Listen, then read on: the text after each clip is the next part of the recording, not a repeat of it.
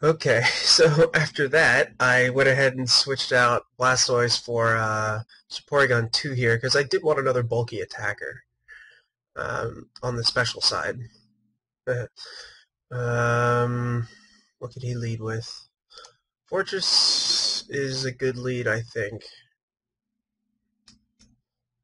Yeah, you can go ahead and fake out. And it's going to deal yourself more damage little me, and then I'm just going to go ahead and set up my stealth rocks. And we'll switch out. He will probably rapid spin. Oh no, he goes for the aura sphere. Interesting. Okay, he's just going straight up offensive. And then, uh, let's see. I don't really think Blastoise carries anything to get by Toxicroak but I could be completely wrong.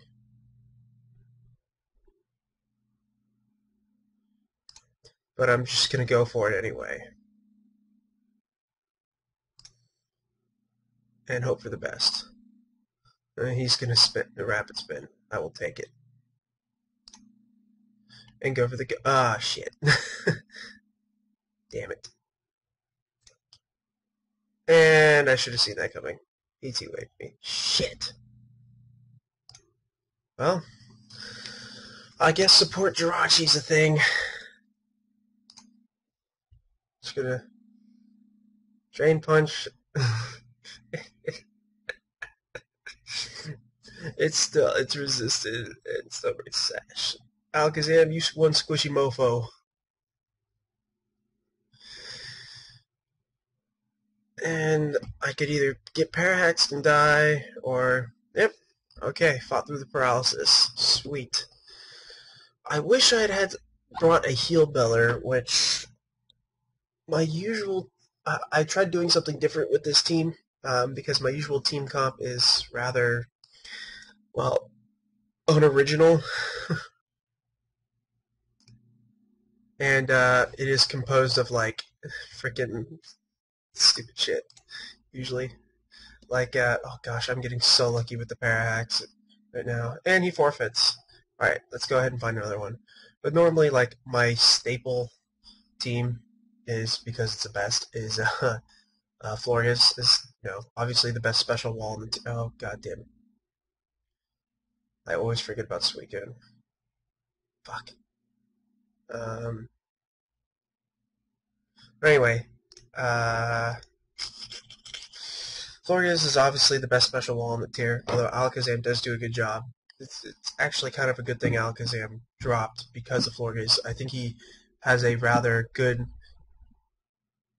niche now in the tier because he's very fast special attacker and he has access to Psyshock to get to completely bypass Florges. Um, and uh, Come on, dude. What are you doing? And um, even bulky Florises on the physically defensive side aren't going to survive too, at least to my knowledge.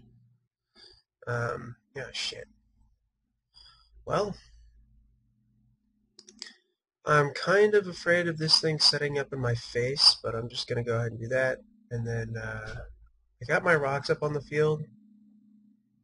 So at this point, I I sort of need this thing around, but I sort of don't. He's got a Forretress of his own. But, again, not too big a deal. Okay, I have a choice here. I can either go into him and go for an earthquake. Or I can go to him. Now,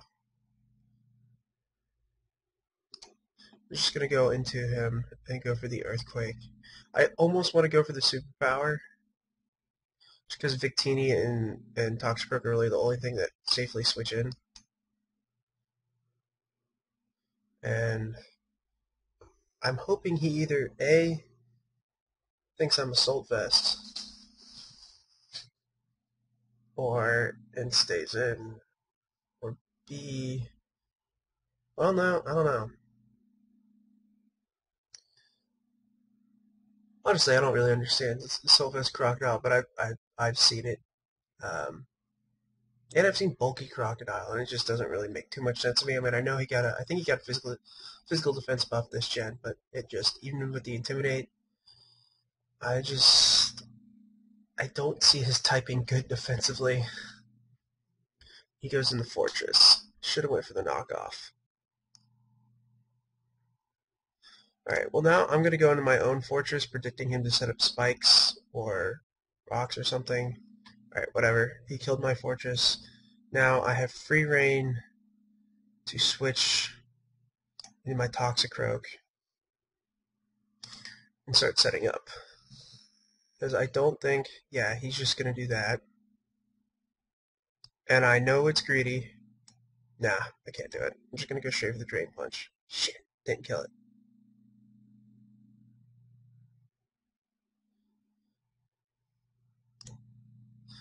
Drain Punch again.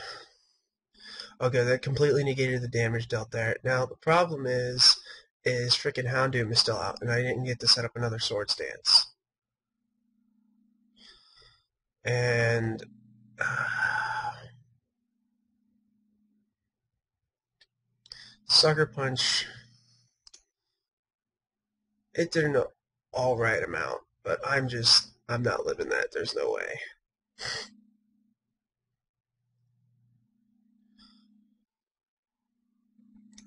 Ampharos. Let's do it. Nope, no, no. um, Volt Switch should do the trick.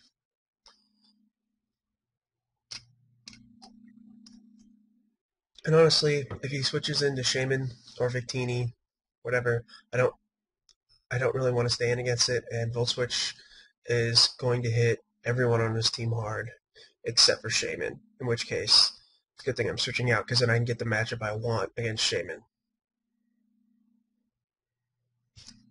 Which honestly would probably be Oregon.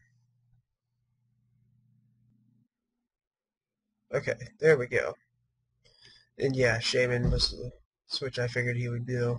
Um, now, yeah, now I go into Porygon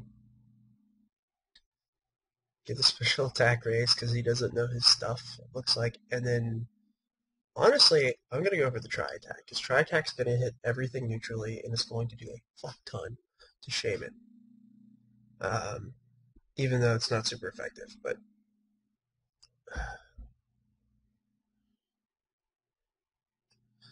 And Porygon 2 taking those things all day. Oh my gosh, it didn't kill. Wow. Now just recover you die, and boop. You're so, oh gosh.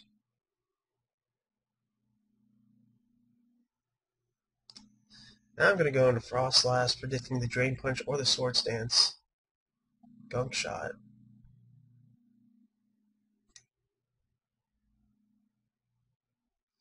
Gonna trick you as choice specs because I imagine you would go for Sucker Punch.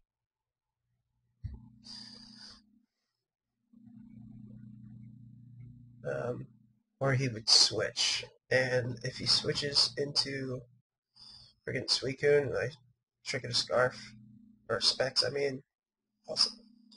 I mean, it's still sort of useful, but the problem is if he, he switches into Mega Houndoom, which is exactly what he does. no. Alright, Ampharos. Damn it. I had a feeling he would do that. Let's see if he double switches. No. And Ampharos can be taking them flamethrowers, flamethrowers all damn day. Um, and now that Shaymin's gone, I can Volt switch earthing.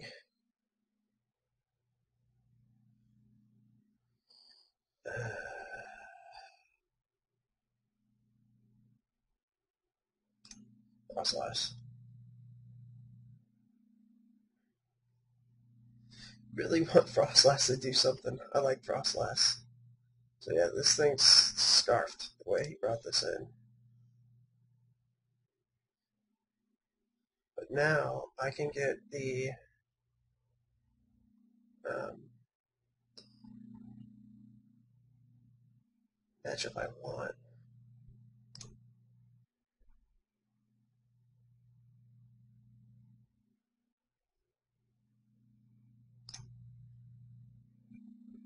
For an earthquake.